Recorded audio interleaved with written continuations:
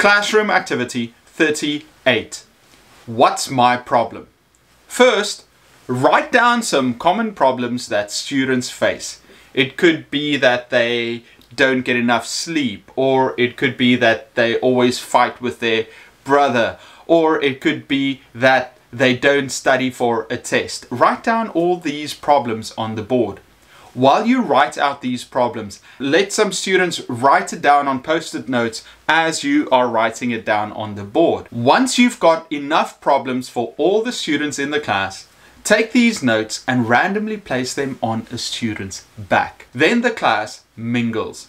They walk around and ask their friends, what's my problem? Their friend takes a look at their problem and then gives them advice. They may not tell them directly what their problem is, but they should give some advice. And from that advice, the student can figure out what their problem is. Maybe you should always pack your bag at night. At the end of the activity, they can guess what their problem is. Classroom activity 39. The M&M game.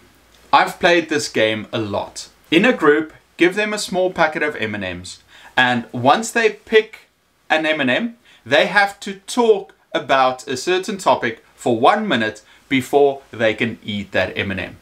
Now, what do they talk about? It depends on the color of the M&M. If it's blue, they talk about a hobby. If it's brown, they talk about a wish they have. Yellow is about their family or their friends. Orange is about a vacation they took in the past and red is about anything they want to talk about. This is a great activity for the students to get to know each other or if you just want to share some treats with them. Classroom activity 40. A day in the life.